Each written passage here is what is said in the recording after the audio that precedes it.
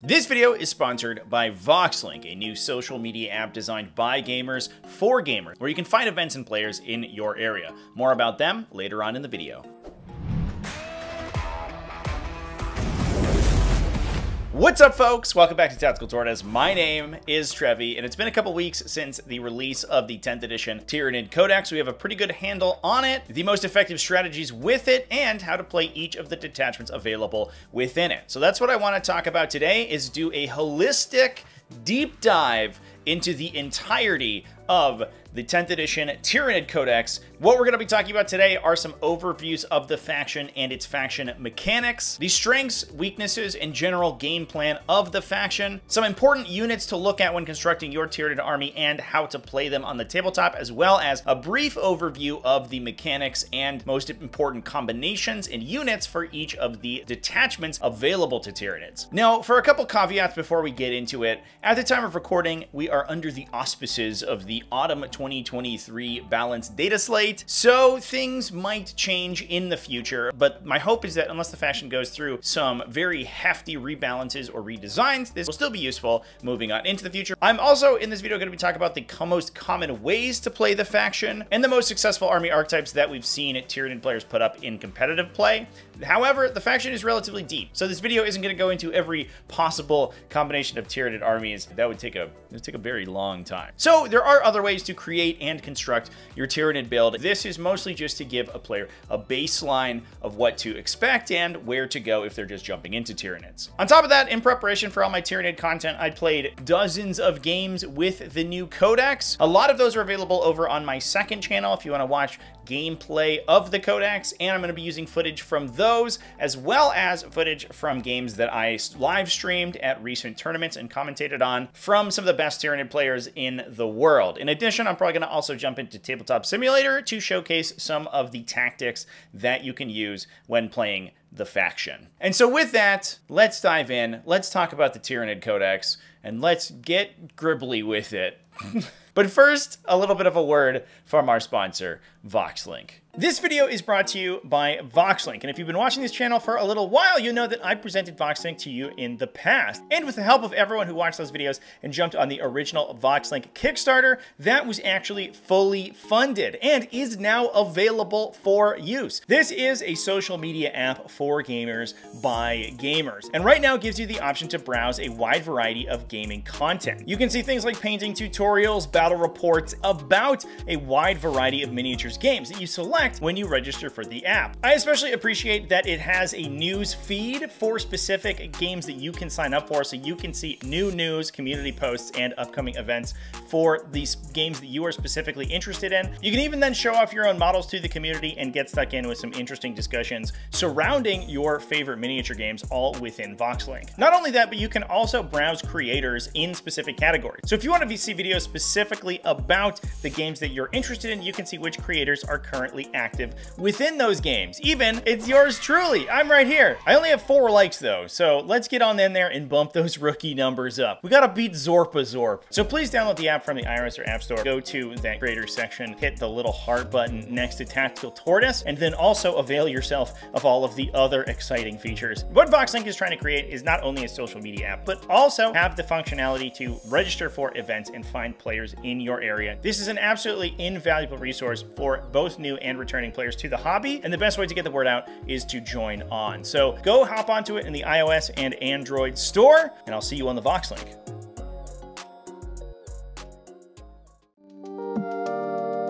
The Tyranid faction has two core army abilities in 10th edition. The first one is Synapse. This represents the uh, mental control that the smarter, more highly evolved Tyranid creatures have over the smaller, less important ones. In 10th edition, this gives you an additional d6 on your battle shock checks for units within 6 inches of Synapse models. Now, this is a little bit confusing because as you look through the codex, basically every model in Tyranids has the Synapse ability. The Synapse ability is what allows you to receive the benefit from Synapse units. What makes a unit a Synapse unit? It is the keyword found at the bottom of their datasheet. So while it looks like every unit in the Codex has Synapse, only the ones with the keyword actually project the aura that affects your battle shock checks. Now, important to note that this is only battle shock checks. It doesn't affect all leadership checks. And so if there are mechanics that your opponent has that forces leadership checks on you, for example, those would not be buffed by Synapse. Now that said, this ability is very powerful when it comes to cementing your control over objectives. An extra d6 on a battle shock check actually makes Tyranids one of the most uh, leadership agnostic armies in the game. It is very difficult to battle shock Tyranid units as long as your Synapse network is supported. Now, it is only a 6-inch bubble, but there are some units in the faction that increases it. Some characters like Swarmlord have a larger Synapse range, and there are upgrades to enhance your Synapse range as well. In addition to that, units like the Neuro Tyrant can also apply Synapse to things outside of the normal Synapse range. That ability comes into play in your command phase, which is before your Battle Shock step of your turn, meaning that you can apply it to units who are going to be taking a Battle Shock test later on in the phase, give them that extra d6 from being now in Synapse range. This ability is actually pretty good, and as we see more Battle Shock Matters abilities in other factions, it is just going to get more powerful. Now, Tyranids are very much of a theme of being the Battle Shock faction. Shadow in the Warp is the other army ability, and that really follows this trend. Once per game, as long as you have a unit with Shadow in the Warp, which is generally speaking your synaptic characters. So things like the Neuro Tyrant and Hive Tyrants, most Tyranid armies will be including one or both of those, which means you'll have access to a Shadow in the Warp. That says if they die before you use the ability, it actually does go away. They have to be on the battlefield, so not in reserve and not destroyed. So you do have to use it or lose it. When you use Shadow in the Warp, it happens in either player's command phase and forces a Battle Shock check on every single enemy unit on the battlefield. Importantly, this means it does not affect enemy units that are in reserve or otherwise not on the battlefield, so there are some instances where your component can try to dodge Shadow in the Warp. However, it cannot be affected by the Insane Bravery stratagem because, importantly, it is not in the Battle Shock step of their command phase, which makes it more powerful than other Battle Shock causing abilities in 40k. Hilariously, this makes Tyranids actually kind of difficult to affect with other Shadows in the Warp because oftentimes they will be in their own Synapse aura, so that's kind of funny. But on top of that, using your Shadow in the Warp at the most effective time is one of the big skills to playing Tyranids. What you want to do is use it at the start of your opponent's turn. Oftentimes, their battle round 2 or battle round 3, because using it at the start of their turn disrupts their scoring and then causes them to be battle shocked through your next turn. This squad here. Uh-oh. Fails. Uh, I could see you re-roll those, correct? Nope, can't reroll battle shock chests. There are some instances where, for example, where, for example, you want to turn off enemy defensive stratagems on units or abilities that require them not to be battle shocked, where you use it in your own command phase. However, the thing to keep in mind when you do that is that the battle shock will wear off at the start of the opponent's next turn. So if you use it in your own turn, it only lasts for one turn, whereas if it, you use it in their turn, it affects their scoring and impacts them for a full battle round. So while you get a little bit more control when you use it on your own turn, the most effective use of it is when you use it in your opponent's turn. So those are the core mechanics of the faction. Let's talk about some generic strengths and weaknesses of the army. Their control of Battle Shock is definitely one of the big strengths of the army. They're able to reduce enemy OC and disrupt their stratagem usage over the course of the game using effects like Shadow in the Warp, and also units like Neurolictors or the Death Leaper. On top of that, they also have incredible objective scoring. They have fairly resilient units that can brawl in the center of the table and score very quickly on primary objectives, and they have some of the best secondary objective scoring in the game, with units like Biovores and Ripper Swarms able to deep strike models around the table. Supporting that, they also have very, very strong chaff infantry. Units like Gargoyles and Termagants are cheap, fast, high objective control, and are good for, again, scoring those secondary objectives, but also disrupting your opponent on primary. They also have some pretty decent mid-range shooting. Their shooting is not long range. It's largely within the 18 to 24 inch range band, which is extremely short in Warhammer 40k, but it's very efficient, and their most effective shooting units are extremely cheap. Now, there are some weaknesses to go on top of that. The first one is that that efficient shooting does come at the cost of having relatively poor punching power, especially against high toughness enemies. Tyranid attacks usually cap out at around strength 10, and with heavy tanks and things like that being toughness 11 or 12, that means that Tyranids will oftentimes be wounding things on 5s and have to rely on effects like lethal hits, twin linked for wound rerolls or plus one to wound effects to get around the hump of dealing that damage. That can make Tyranid's damage output pretty inconsistent, which can be frustrating for the faction, but they do have some combos that get around that. That said, in order to secure this damage output, they have to be relatively combo oriented. So they need to build sort of a Rube Goldberg machine oftentimes in order to get the maximum damage from many of their units, which requires several units or abilities to get to the same level of damage output that other factions have naturally. They do have that focus on battle shock, which can be very powerful against low leadership armies, but against high leadership armies, it means a lot of their abilities don't actually trigger. Now, with all those pros and cons and army abilities, what are Tyranids actually trying to do on the tabletop?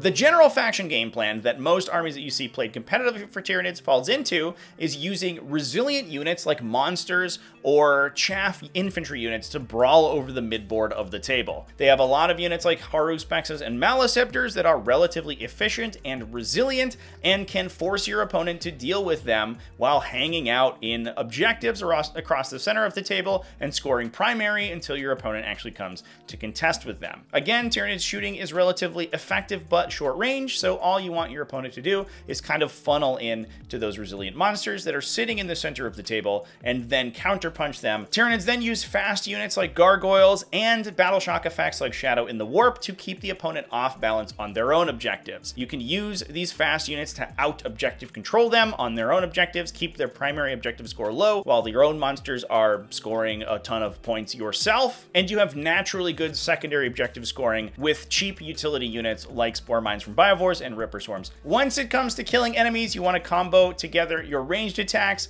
with stratagems that buff your output, the offensive buff from the Neurolictor, removing cover from Pyrovores, rerolls from Exocrines. Put those all together to get lots of damage out of your hitter units. Units like Maleceptors or Zoanthropes have pretty effective range attacks by themselves, and once comboed out, can do insane damage. Now, I've touched on a lot of these individual units, so let's talk about them specifically. These are units that you're going to be seeing in basically every Tyranid army, and these are ones that I would, if you're constructing a Tyranid army, always consider including. The first one is going to be the Gargoyle. This is probably the backbone of the Tyranid objective scoring game plan. These guys are incredibly fast. They have assault weapons, which allows them to advance, perform actions, and still shoot their guns. On top of that, they can also move after shooting. The amount of utility that this unit has with its ability to move after shooting is absolutely insane, and I'll give you some examples here. Gargoyle's insane speed is incredibly effective for a lot of reasons. Obviously, the biggest thing you can do with their ability to move after shooting is, is to move out, make attacks against enemies that you can see, and then move back. You can potentially get some damage output while remaining out of line of sight and safe from your opponent. But the most exciting part about it is its ability to actually move them forward. So you can take a gargoyle unit like this, advance them an average of 3 inches, 3.5 on a single d6. Let's move them somewhere around 16 inches. Now, what we want to do is prevent these Space Marines from getting over to our side of the table and mucking stuff up so we can shoot. All you need is a single gargoyle to attack because uh, you do need to resolve the unit's attacks in order to trigger their ability to move again, but you don't need the entire unit to attack. You just need a single model.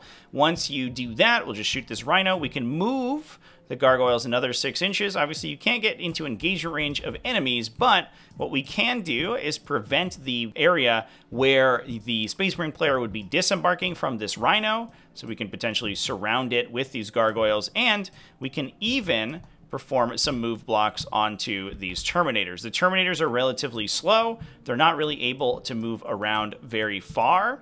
Uh, and especially with a lot of factions with their ability to advance and charge, they can potentially be moving pretty far up the table and charging our more valuable units who could be holding the objectives down in the center. If we say there's an objective in the middle here with a Maleceptor on it or something, we don't want the Assault Terminators to touch it, so the Gargoyles will physically interpose themselves and prevent the Terminators from moving farther than this wall. Now, in addition, all of these effects that allow units to, to move after shooting uh, are actually usable when they come out of reserve. The unit can't move farther in the movement phase if they deep strike on the table, but they're still able to move in the shooting phase. And this is incredibly useful for a lot of reasons, not the least of which is getting objectives. So, for example, if we have a situation here where uh, we're in our opponent's deployment zone, they've got a vehicle on the objective that's screening us out from deep striking onto it, or even a little bit too close here. We've drawn capture enemy outpost, so we have to control their objective in order to score it. What we can do is just deep strike the gargoyles nine inches away from enemies as normal, then shoot at that enemy unit, and again, move six inches and just put a couple gargoyles on that objective in order to steal it. So you have to be super careful if you're playing against gargoyles. You have to screen units from being able to place six inches away from the objective, because if you don't do that, they can drop in, shoot, move six inches, and then stand on the objective. So if you're if you're only blocking off the objective on one side or another of it, these gargoyles are going to be able to move up and touch it. Now on top of that, this can also be used to move them into positions for maneuver secondaries, things like behind enemy lines and engage in all fronts. If we need to be in a particular area, you know, three inches past this table quarter, for example, we can be deep striking. Even if your opponent is screening, then uh, making those range attacks and moving the unit after they've deep struck in order to move them into a table quarter or into your opponent's deployment zone. Now, the one thing that they can't do is perform this move and also do actions at the same time because uh, you can't shoot and perform actions like cleanse or deploy teleport homers. But the fact that their weapons are assault means that if the gargoyles are already on the table, they're going to be able to advance and do those actions anyway. So they're even still pretty good at doing them, even if they can't actually uh, use their full maneuverability ability while doing so. Gargoyles are a little bit of a silver bullet in a lot of situations. They can shut down melee armies by preventing them from moving effectively. If you have several units of gargoyles that you can sort of throw out in waves to try to stop them from touching your more important units, that is super duper tough for melee armies to stop or deal with. And they're incredibly strong at stealing objectives. Even just moving, shooting, and then moving again to get a long distance to touch enemy objectives is already super duper good. So while gargoyles are your primary disruption piece, neurolictors are another important piece of the puzzle. These guys are single lone operative infiltrators that force battle shock checks on enemies in your own command phase 12 inches away from them, and can support the rest of your army's damage output by giving you plus one to wound against battle shocked enemies. They also give battle shocked enemies minus one to hit. That's less important. That plus one to wound is really the name of the game. Now, these guys are resilient, hard to pin down, and pretty cost effective, probably one of the strongest lone operative units in the entire game, and their interaction with the rest of the Tyranid gunline, which tends to be kind of mid to low strength ranged attacks that then get buffed by the Neurolictor aura is very, very valuable. That said, you do have to know how to use them on the table to get the most effectiveness out of them. Now, playing with Neurolictors and understanding how uh, Neurolictors work is one of the fundamental principles of the 10th edition Tyranid Codex, because they're probably one of the most important units in the Codex, not only for their ability to disrupt scoring, but also to buff your own army. Now, one mistake I see players make a lot of times is trying to aggressively use their Neurolictors to get onto enemies. Because their ability triggers in your command phase, you don't have much control over when your opponent walks into it. And oftentimes you'll find your opponent will just stay, you know, 12.01 inches away from the Neurolictor. So the point is to put them in positions where your opponent doesn't want to not get in range. So for example, what we want to be doing is placing our neurolictors so that they are 12 inches away, at least you know during deployment, from the back of these objective markers. That means that if your opponent is going to come touch the objective marker, they're automatically within the aura of the neurolictor. In addition, you can also place them in particularly advantageous positions for your opponent. For example, if we place them so that their 12-inch aura encompasses the back of this terrain feature, if your opponent deploys up and then moves behind behind that terrain feature, the Neurolictor's automatically then going to be forcing battle shock checks on them. The objective control capacity of the Neurolictors is the, the real big one. Oftentimes, especially for middle objectives, and if your opponent is going to be trying to move aggressively up to you, you can put two or even three Neurolictors with that aura in range of the objective and then force multiple battle shock checks on them if they move up to touch it, which means that your opponent is kind of not incentivized to move to that objective, so they're not even going to be trying to score those points, and that's already kind of money in the bank for you without even doing anything. You're, you're, the Neurolictors just sort of force your opponent to play more passively just by virtue of the fact that it exists.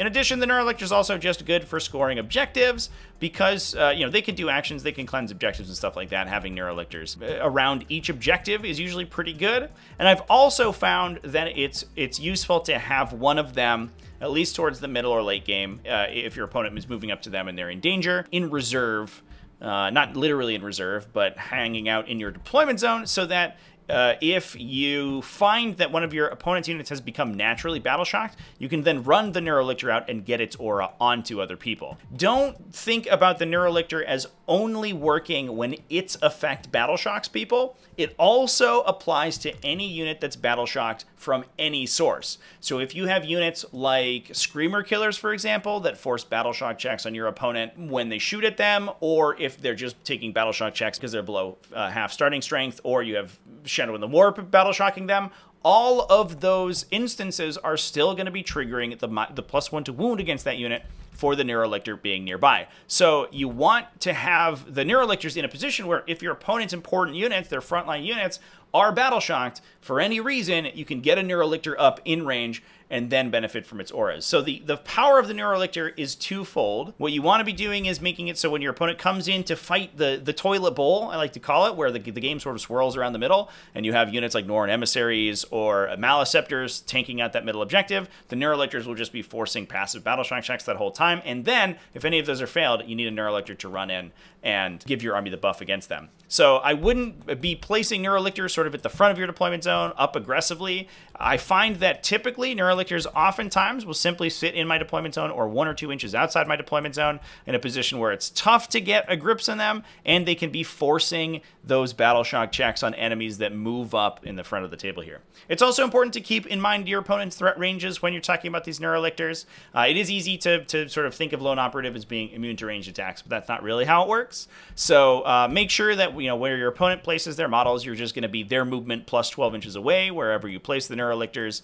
Um, if they are in a position where you can place them where you're uh, trying to place them defensively, then there's just no way that your opponent can get into range of them. Once you unlock the secrets of the Neurolictor, though, uh, the Tyranid faction sort of opens up in a big way because Neurolictors are so incredibly powerful. Moving on, I've talked about the resilience of Tyranid monsters previously, and the Maleceptor is sort of the poster child for that stat line. These guys are high toughness, high invulnerable save brawlers. They project an aura of minus one to be hit and potentially wounded six inches away from them, which affects enemy units, not friendly units, meaning that once they get an enemy unit in range, it's going to affect all of that enemy unit's attacks, regardless of whether they're attacking the Maleceptor or not. This gives you a big high resilience unit with a strong short range attack as well as pretty solid melee attacks that can sink into even some of the strongest enemy melee units in the game, tie them up round after round, not really take too much damage and slowly attrition them to death.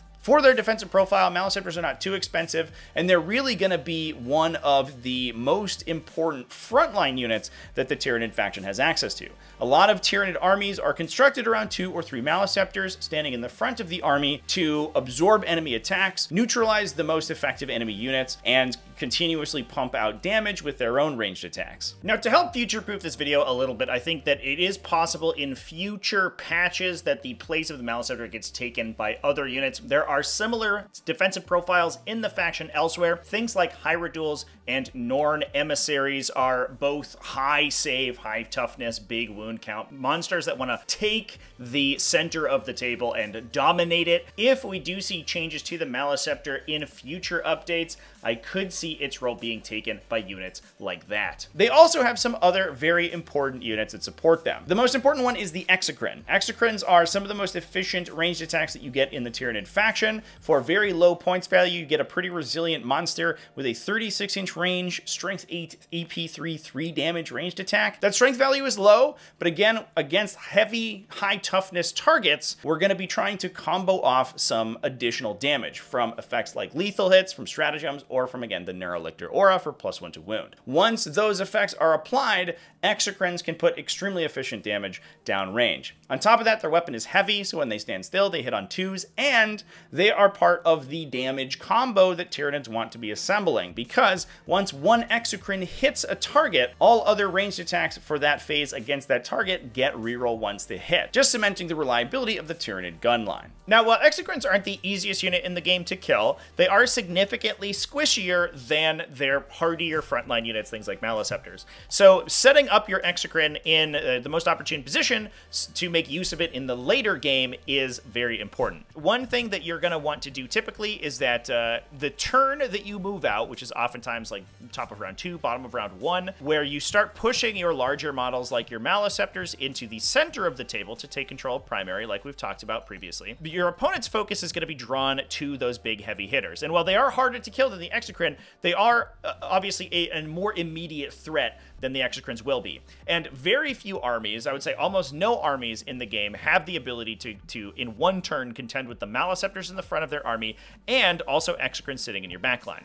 So the turn that you're pushing out, oftentimes what you're going to want to do is start moving your Exocrines, uh, even if they don't have any targets, you can move them with advances along the sides of the table to control these lines of fire. And that allows you to get shots across most of the objectives and respond to any enemies that are attacking your Maleceptors. The big benefit that the Exocrine has in this situation is that it does have that heavy keyword. So, once the Exocrine is in position, your opponent, you know, pops out of their own line of sight blockers and starts to try to deal with the Maleceptors. Maybe they start to kill them, maybe they start to, to deal significant damage to them. At that point, your Exocrine's in a position to respond and it can remain stationary, meaning that it's hitting on twos rather than threes. And if you have multiple Exocrines both syncing up attacks on a single enemy target, there's suddenly, the second one anyway, is going to be hitting on twos, rerolling ones, which is incredibly efficient, and especially once you combine it with some other buff effects, things like reroll ones to wound from the Synaptic Nexus stratagem, lethal hits or sustained hits from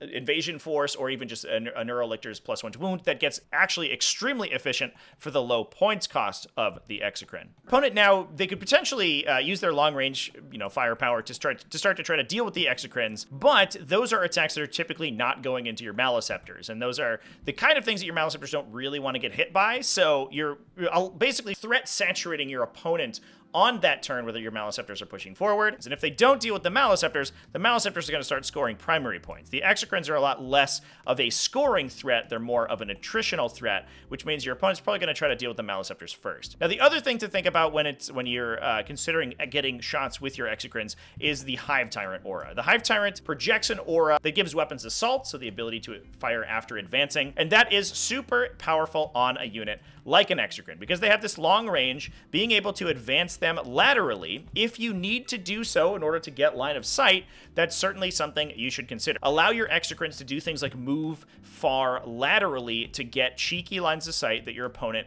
might not be expecting. So if you can, for example, you know, get an Exocrine over here, get a Hive Tyrant within six inches of it, and start to get a line of sight around this building, for example, you start to be able to control lanes of fire that your opponent didn't expect with what is normally a big, slow, ranged attacker. And the Exocrines are so excellent at killing infantry, especially things like medium and heavy infantry that have good armor saves and a bunch of wounds. The Exocrines are low strength, so not very good against tanks, but high AP, high damage, which means they're very good against those, you know, heavily armored infantry units, things like Hellblasters or Aggressors, if you're able to use that Assault Aura to get the Exocrine line of sight around a corner into a position your opponent wouldn't expect, triggering Blast and being able to one-shot infantry like that means that these Exocrines do insane damage when they get those targets in their lines of sight. And uh, that's not definitely something I wouldn't discount. I don't think you, you know, are looking for it at any at every situation. But if there is a situation in which your Exocrine could potentially advance sideways inside the Hive Tyrant aura and get a really juicy shot off, that's definitely something to keep in the back of your head. The Hive Tyrant also is, is very good at buffing the Maleceptors as well. As they're moving up the table, the Hive Tyrant can be in a central position, giving them assault so they're able to then advance uh, onto objectives and still shoot their guns, which is super duper important. Now, another thing to keep in mind about the Exocrine is its weird body conformation when it comes to measuring line of sight from it. Now, I do have a whole video on terrain and how terrain interacts with line of sight, and if you want some examples on how line of sight works, go check that one out. But the long story short is that you could draw line of sight from your model any point on your model, and if you have assembled the Exocrine uh, per sort of the the the pictured model that is on the box, you'll find that its gun actually extends a little bit over the edge of its base, between half an inch and an inch, depending on exactly where you set it up. The reason that that is important is that it allows you to, to trace your line of sight from past where your base is if we are on a terrain setup like this, this is uh, from the Leviathan Tournament Companion, oftentimes you'll find that there are these corners of terrain where either uh, the space between ruins is very narrow, or you'll find that there's a space where you can place your model, but you can't fit wholly on this terrain feature to get line of sight through it. So this wall is blocking true line of sight, obviously, because it's big and opaque, and we can't trace our line of sight through these ruins unless we're wholly on top of them. However, the Exocrine has a little bit of an evolutionary advantage in that it has parts of its model that are overextending its uh, extending over its base that are then not tracing their line of sight through the ruin terrain. So for example, we can sit the, the exocrine here, and if it if it was back like this, it wouldn't be able to trace this line of sight or any line of sight like this, because the ruin that it's inside, not being wholly within it, would block its own line of sight. However, the exocrine, because it does extend over a little bit, can place itself like this, where the tip of that gun barrel is actually extending over the edge of that terrain. So now any line of sight traced from this is not going to be passing through that ruin, so you can actually control lines of sight that the model would be physically too large to be able to. And this is an advantage that exocrines have over other similar monster varieties of, you know, ranged attacker. Uh, the other thing you can do specifically on these Leviathan layouts is actually place the exocrine like this, where its cannon is overhanging uh, the joint between these two ruins right here, and that allows you to trace your line of sight from the tip of that cannon. And that is something that you will see happen in uh, competitive tournament play, even not even in TTS. This isn't a tabletop simulator only thing. If you have the exocrine assembled such that its gun protrudes over the, the top, the tip of its base, you can actually find that it gets a lot of additional lines of sight that you normally wouldn't expect it to. And this can also combo with the Hive Tyrant's ability to make them advance and charge. It gives them a lot of that like lateral control over their where, where their line of sight goes because we can be moving that exocrine, you know, with an advance pretty far and then tracing that line of sight from the tip of its gun to get extended line of sight potentially around corners and things like that, uh, which which actually makes the exocrine pretty good at its job. It's a good example of the model design, the model construction, sort of fulfilling the role of the exocrine and supporting itself in that role, which makes it slightly more effective of a ranged attacker. Now, last but certainly not least is the Pyrovore within this combo. These guys are extremely cheap infantry units. For just a couple points, you get a single model in the unit. They have a strong torrent ranged attack that, while it is short range, you're oftentimes trying to attack units that are coming into you to deal with your Maleceptors, so you don't have to move that far to get in range. And you also have effects like the Hive Tyrant's Onslaught Aura to give ranged weapons assault to allow them to advance and shoot, which definitely helps that short threat range. The attack itself is an AP1 twin-linked flamer. It automatically hits, which is great, and especially once you get a plus one to wound effects like the Neurolictor's Aura, you actually can do some significant damage with a couple of these guys. That said, it also removes cover from the enemy that you shoot at for the remainder of the turn. That is a huge deal because Tyranid range attacks tend to be kind of middling AP. So punching through cover is a problem for them. Now, I've mentioned a unit a couple times in this summary, and I think I'm going to insert it in here. I actually wasn't sure if I was going to talk about this guy because he's in kind of a weird spot in the Codex currently, just based on how the rules have changed since the Codex was released. The Hive Tyrant is an important include in a lot of Tyranid armies for its ability to grant advance and shoot to a large area of the table. This is huge for allowing your slower units like Maleceptors or Zoanthropes to get up the table get line of sight and range to targets with their short range weapons, or allow units like exocrines to move laterally along the table and get lines of sight, as I've talked about previously. The Hive Tyrant also gives you a little bit of command point economy with its Will of the Hive Mind ability. Now, nominally, this allows you to use a stratagem for free on a unit within 12 inches. However, we are using the Autumn data slate while recording this video, and that restricts the use of this ability to only battle tactic stratagems that specifically target only friendly units. Now, the reason that this is a little bit weird is that there are a lot of stratagems in the Tyranid Codex that don't interact with this. There's a lot of stratagems that aren't battle tactics, so you can't use them in conjunction with the ability, but also they target enemy models, even if they are battle tactics. And those, at the time of recording, cannot be used in conjunction with the Hive Tyrant's aura, even if they target a Tyranid unit and an enemy unit. Now, that's the way the rules is written, so if you are playing strict rules as written, that is how the game works. However, many events rule that those abilities can still be used in conjunction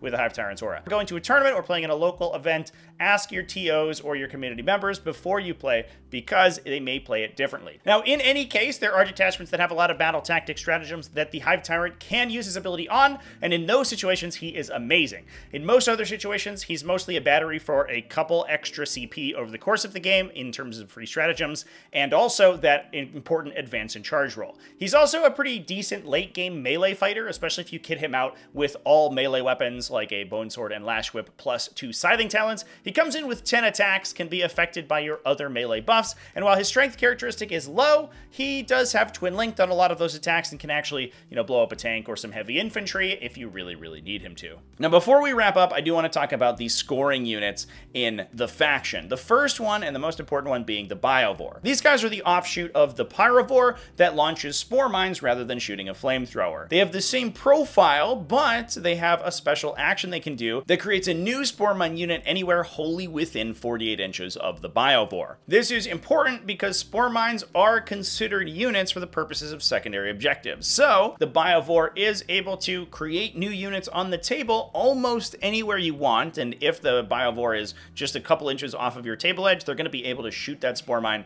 basically anywhere on the table, from even going down the, the lengthwise of the table. They will have range to most of it, which then can score you objectives like engage in all fronts, behind enemy lines, or even potentially perform actions like cleanse or deploy teleport homers. There are so many objectives in the tactical objectives deck that requires you to place a unit in a particular position, whether it is to perform an action or it's just to have them there. And the Biovore, as long as your opponent isn't screening you out, allows you to score all of them basically automatically. Spore Mines themselves are useful units to have on the table. They do have an aura that messes up enemy assaults, and so placing Spore Mines in a position where enemies would want to end assault moves around you can protect you, for, especially from armies like Orks that advance and charge. Yeah, I'll put a Spore Mine here. So they're, the gimmick with these guys is that they prevent you from advancing and ending within six inches of them. So Wait, if what? If that unit advances, then you can't go six inches away from the Spore Mine. That's uh, dumb. That's ex- that's actually extremely funny as crazy suits. Yeah, it's very good. It's very good. Ripper Swarms are the other honorable mention here. These guys are OC0 single entity units. You can take for just a couple points a single Ripper Swarm, and they naturally deep strike on their datasheet. Just like the Spore Mines, even if you're not controlling objectives with these units, being able to place them around the table is super impactful and a great way to score secondary objective cards. These two units together with the fast high OC units that the faction has elsewhere, like Termagants, Hormagaunts, or the gargoyles that we talked about in the beginning of this section really cement Tyranids as being one of the most effective secondary objective scoring factions in the game. For just a couple hundred points, you can include enough units in your army that you don't have to worry about any secondary objective scoring whatsoever. And you can then focus the rest of your game plan on scoring primary objectives. While Tyranids will often see the attrition game turn against them because they do have to sort of jump through these hoops to get solid damage output out of their units, they will typically be ahead in points. And the race is to try to beat the Tyranid player before they can defeat you on the scorecard, which not many factions are able to do so. Tyranids will usually end with less of their army remaining than their opponent, but have way more points, and that's all that matters at the end of the day. So with all the important units in the faction broken down, let's take a moment to talk about detachments that Tyranids have available to them, some of the most important combinations within those detachments, and units that you should be looking out for if you're trying to construct a list in those detachments. I'm going to go in sort of general order from the, the most effective detachment to the ones that get played less often because they're not as good. Invasion Fleet is the index detachment for the Tyranid faction. This was the detachment that was originally released with the start of the edition and essentially encapsulates in its purest form the classic game plan of the faction. The faction game plan that I talked about in the beginning of the video it basically is exactly how you want to play. You want to have annoying to kill resilient units standing in the center of the table. Those guys are going to use the rapid regeneration stratagem to keep themselves alive for as long as possible while you're scoring your secondary objectives behind them. You can also maintain control of those objectives with infantry by using stratagems like Endless Swarm, all the while shooting away with your pretty efficient ranged attacks. These guys are buffed by the detachment ability, either getting sustained hits against infantry or lethal hits against monsters and vehicles. That's super important because, again, Tyranid weapon profiles tend to be relatively mediocre, and getting lethal hits is oftentimes equivalent to getting like a plus one to wound effect which uh, is pretty good, especially if you can source rerolls to hit anywhere, so you have a greater chance of scoring those criticals. On top of that, we also have Adrenal Surge, which can cause those special sustain or lethal hit effects to be applied on a 5 plus rather than just a 6, which is pretty good, even though it is melee only. Now, any of these effects that allow you to critical hit on a 5 plus really compound once you have any additional critical hit effects added in. So if you have units like Tyranid Warriors with an attached Tyranid Prime, he gives them sustained hits. You can then also be getting lethal hits from the detachment ability and triggering those on a 5 plus with Adrenal Surge. This Mace Invasion fleet incredibly consistent. Their game plan is almost always the same, and they have a pretty solid damage output against a wide variety of the field, being able to adapt themselves before the game begins. Moving on, we'll talk about Synaptic Nexus next because it is very similar to Invasion Fleet in a lot of ways. This detachment has an additional focus on synapse creatures and can protect those synapse creatures with reinforced hive node, reducing incoming AP against them by one.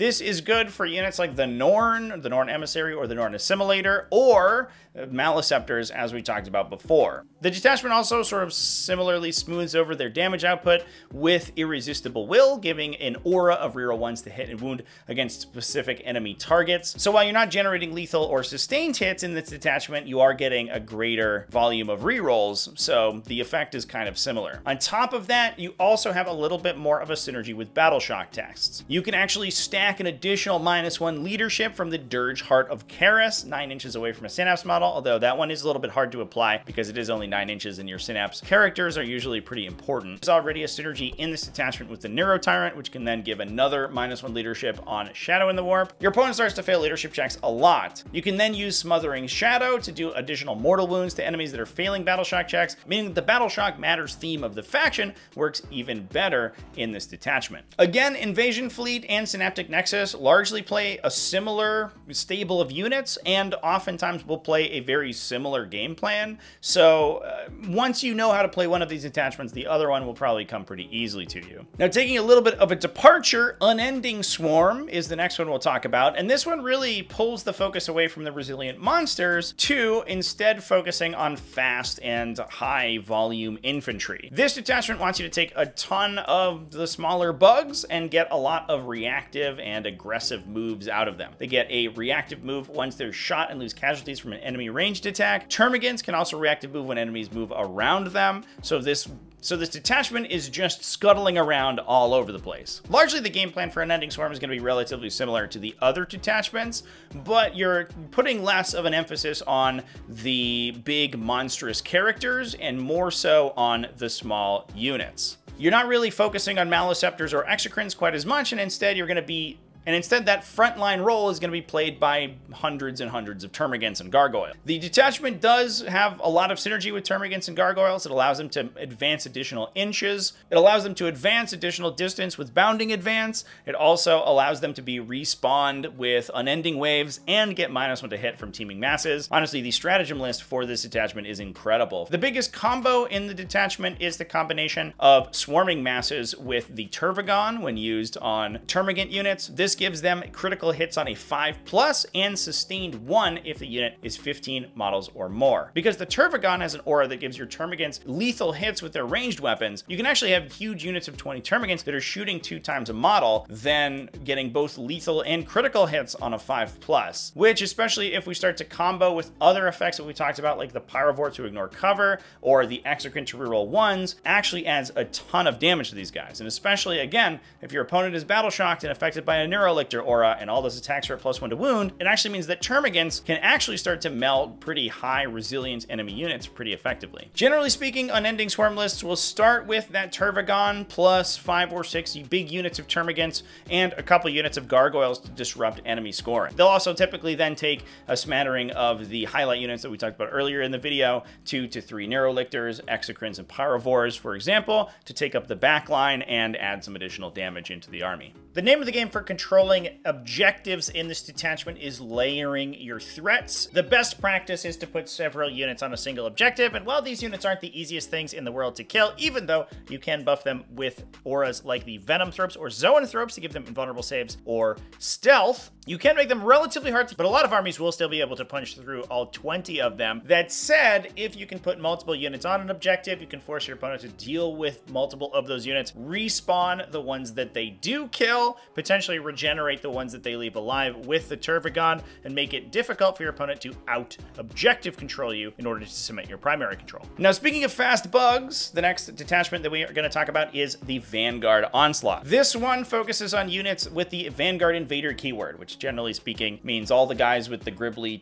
tentacle Cthulhu faces and uh, most of the people with wings. This gives all the Vanguard Invaders advance and charge, making it one of the fastest detachments in the Codex. And it's really focused on having an absolutely insane Alpha Strike. Because most of the Vanguard Invaders either have Scout or Infiltrators, these forward operating units are able to start the game up ahead of your army and close to your opponent. They're then fast enough that even if your opponent tries to deploy far back, unless they start really on their table edge, in which case a lot of times they uh, will be too slow to actually come in and contest you on objectives, you'll be able to get them on the first turn if you go first. If you don't win the roll off to go first, the Neuro Node enhancement allows you to redeploy those units back to safe, so you can deploy them very aggressively without really any risk to yourself. And it means that oftentimes, if you end up going first, the detachment will just blow out your opponent. Units like Genestealers, Von Ryan's Leapers, Lictors, the Deathleaper are really the poster children for this kind of game plan. You want to be putting them in aggressive positions, moving them up aggressively, and then redeploying them if things don't go your way. On top of that, the detachment's also able to bring in reserves on the first turn, so a lot of the deep striking units or even just strategic reserves coming off the table edge can further cement that alpha strike or control the middle of the table while your opponent is reeling. Now that being said, there is still a lot of play within the faction if you don't win the roll-off to go first. The surprise assault stratagem is one of the weirdest ones in the game right now. It allows you to force battle shock checks on enemies in exchange for bonuses to hit and wound against them, but doesn't actually require you to be attacking them and has an unlimited range, meaning that this stratagem can potentially battle shock enemies uh, and anywhere on the table in their own fight phase, which oftentimes can cause them to fail important objectives. Objectives like behind enemy lines or engage in all fronts require your opponent not to be battle shocked, and if they are battle shock, uh, meaning that if you battle shock them before the end of their turn, that objective won't actually complete,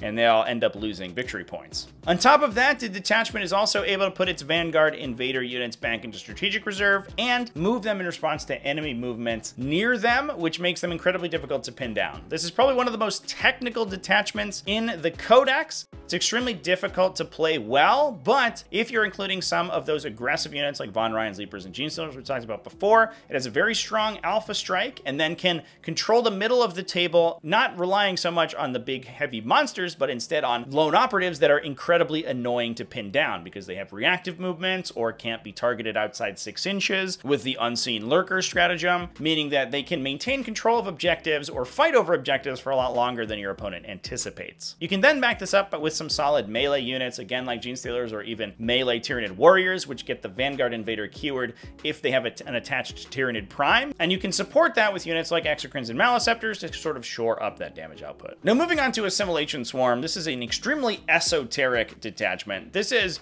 the Harvester Show, which is a keyword shared by just a couple of units, Haruspexes, Psychophages, Ripper Swarms, and Pyrovores. However, it does have some insane buffs for them. Of those, the most exciting Harvesters on the list is the Haruspex. These guys are melee monstrosities. They're relatively tough to kill and have a billion attacks in melee, and Assimilation Swarm ends up being very much the Haruspex show. Assimilation Swarm is kind of following the same game plan that we've talked about previously, but replacing those Maleceptors with Haruspexes. It also then has a lot of benefits for heavy infantry, units like Zoanthropes or Tyrant Guard that can regenerate multiple times with their detachment roll that allows you to add fully healthy units back into the unit once you're regenerating. With the combination of stratagems and the detachment ability normally, you can regenerate a unit up to three times per round, meaning that these big heavy infantry units, as long as you're not being too aggressive with them and don't get them one shot, can be restocked almost up to full essentially every turn. There's also some benefits for your melee characters as well. The parasitic biomorphology enhancement is incredibly strong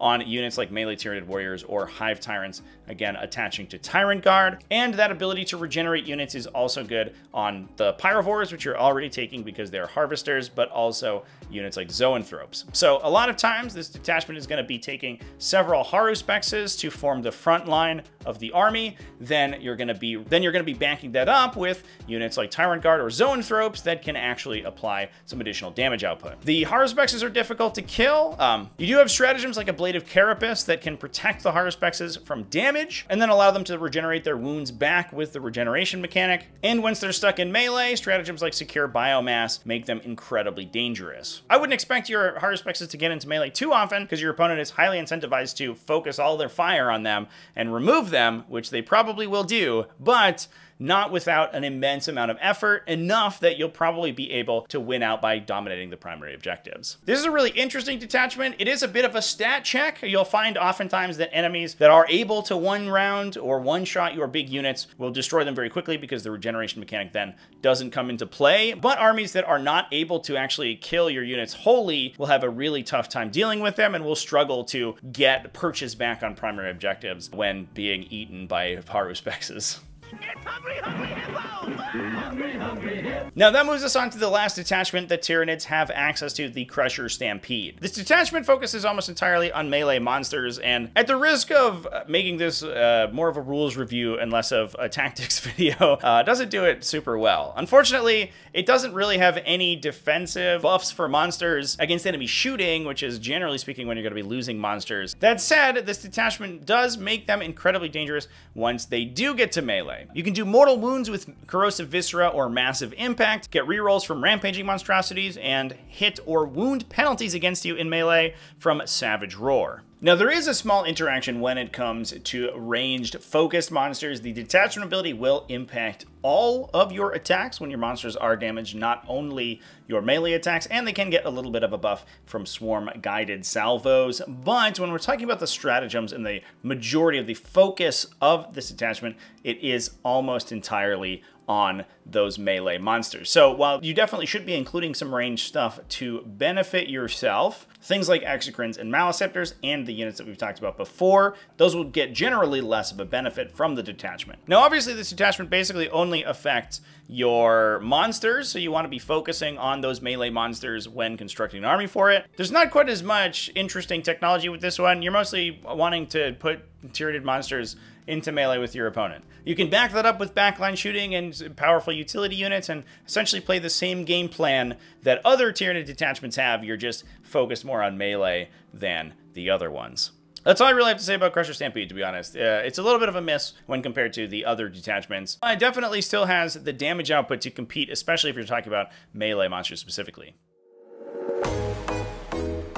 And with that, this concludes my breakdown of the Tyranid faction. Tyranids are a diverse faction with a deep roster and a wide variety of interesting builds, but a faction that does require careful list building and skillful use on the table to succeed. It was an interesting and I think overall correct choice to include them as one of the starter factions of the game opposite Space Marines, who tend to be more straightforward and individually powerful, whereas Tyranids have to utilize more combo play, whereas Tyranids have to use more maneuvering and combo play to succeed. However, are still relatively straightforward and not too difficult to pick up for a new player. Let me know down in the comment section if you found this video useful and if you'd like me to do similar breakdowns on other facts. Big thanks for watching all the way to the end of the video. Thanks to VoxLink for sponsoring this video. Thanks as well to everybody who supports the channel either over on Patreon at patreon.com slash tacticaltortoise, YouTube channel members, and Twitch subscribers.